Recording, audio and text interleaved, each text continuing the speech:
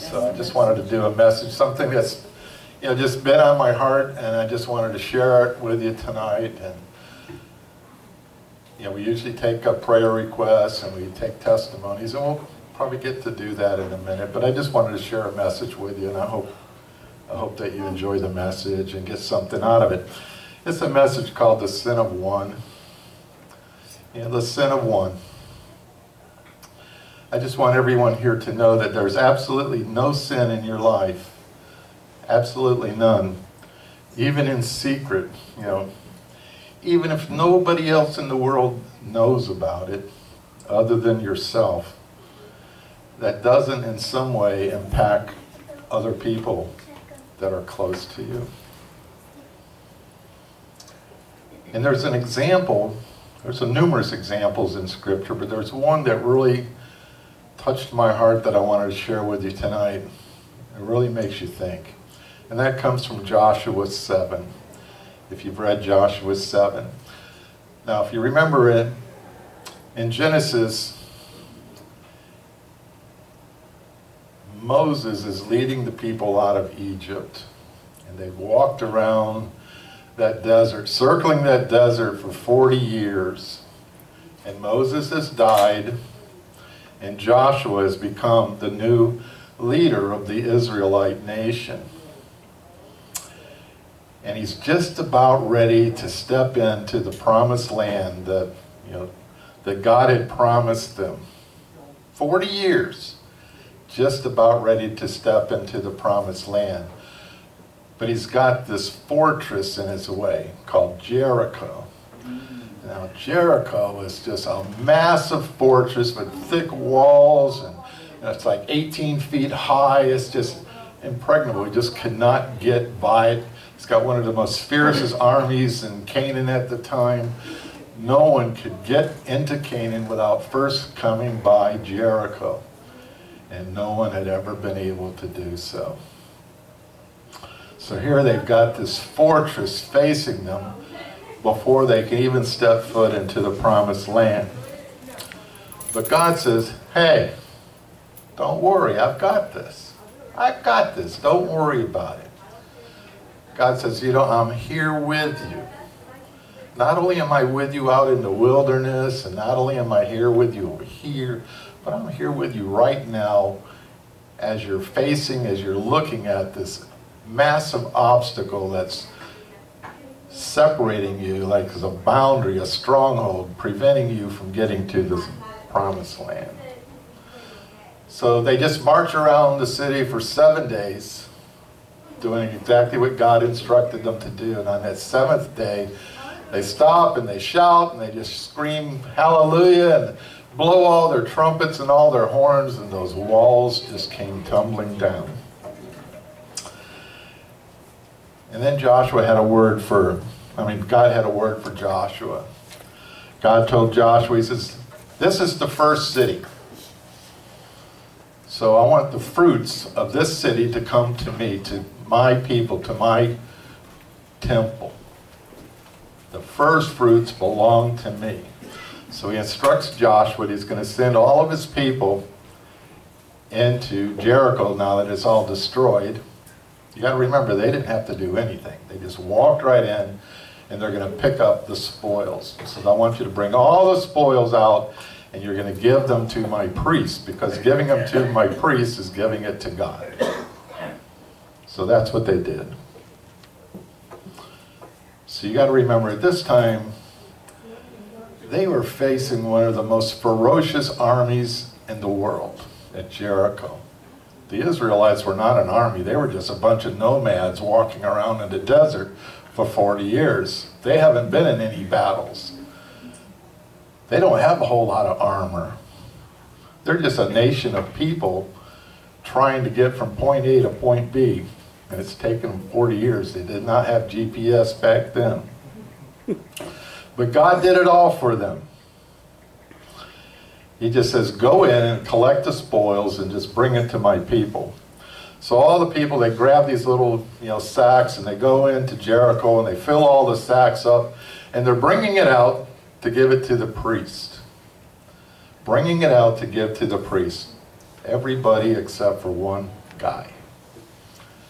Everyone did what God told them to do, but one guy. So he's in there, he's got his little sack, and he's looking around. He says, Man, nobody's looking at me, and there's something over there I really like.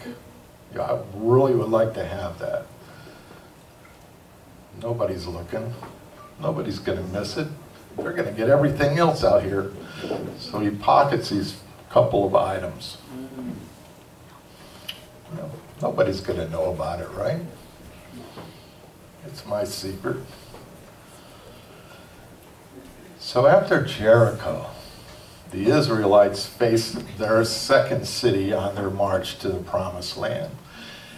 And it's a tiny little city. It's not even a city, it's a village. It's called Ai. It's really difficult to spell. It's A-I. It's called Ai. Tiny little village. They don't even have a, an army. They just got farmers and everything. So Ai sends out what few men they have to face the approaching Israelite nation. I mean, they've got a million and so people coming to this tiny little village. And the Israelites are saying, hey, this is going to be a piece of cake. You know, look what happened back at Jericho. We didn't even have to lift our thumb. We didn't have to do anything. We just marched right in there and picked up the spoils. Well, guess what happened? These tiny little group of farmers destroyed the Israel advancement, even to the point of killing 36 of their people, 36 of their men. So they were defeated by this tiny little village. Now you've got 36 families and you've got wives who don't have a husband now and you've got children that don't have a father. And Josh was going, what happened? What happened? So he gets all the people together and he's trying to find out what happened. And he goes to the priest and he's asking the priest, What happened? Will you please talk to God for me and find out what happened? So the priest come back to Joshua and he says, There's sin in the camp. What do you mean there's sin in the camp? Well, somebody took something that belongs to me. Somebody took something that belongs to my temple. So they search the camp and they find that Achan had been unfaithful. It was he that had stolen these few items. So they take and gather Achan and they grab his daughters and his sons and they gather up all of his livestock and his oxen and, and sheep and they bring them all out and then they stone them to death. And then after they stoned them, they burned everything. Now, people today,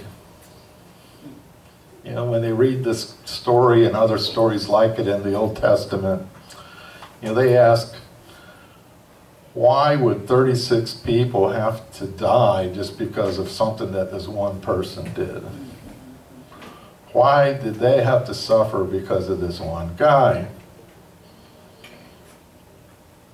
Why? Why does God do that? It's not fair. It's just not fair. But what people don't realize today is that whatever you do, you know, whatever the one does, it affects the whole village. Mm-hmm. It affects the whole church. It affects the whole nation. So we've got to be careful about what we do. You know, there's no secret sins, nothing that doesn't affect others in our lives when we are sinful like that. And when God says, you sin, God is speaking in the plural. He's saying, you all sin. Not just you. You sin. Yes, it was just one God, just one guy. But God says, when you sin, everyone is going to pay.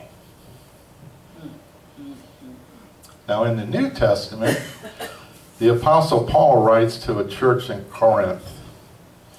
And in this church, a situation of sexual immorality is going on.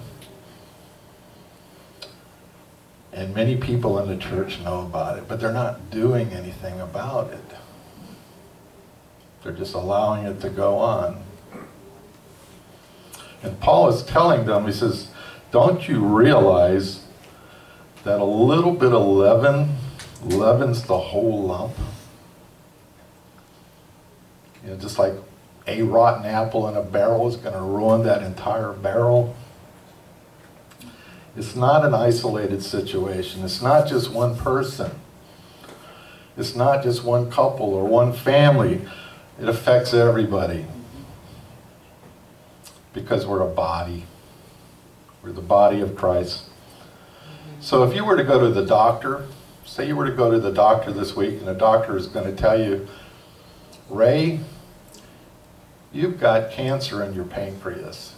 Now I break those words, but the doctor says, Ray, you've got uh, cancer in your pancreas. I'm not going to go, woohoo, I've only got cancer in my pancreas. No, because if you've got cancer in your pancreas, you've got cancer all throughout your body. What, go, what happens here is hurting over here, it's going to affect over here, it's going to affect over there. If you've got cancer in one place, you've got cancer everywhere. So if I'm sinning, or my cancer or my sin is affecting the entire body of Christ. And I just want to conclude by saying that we're in our in the final days. These are the end of times that we're in. God's going to be coming again soon. And not only is he coming soon, but he's going to be passing judgment. And if you've got any secret sins, this is the time to ask for forgiveness and to repent turn away from those wicked ways. Amen. Amen. Amen. Well, well, that was heavy. But that was something that the Lord has just been putting on my heart all week long. I just had to share it. And maybe I'll be doing some every every week or so again because it felt good to do another mini message. Amen.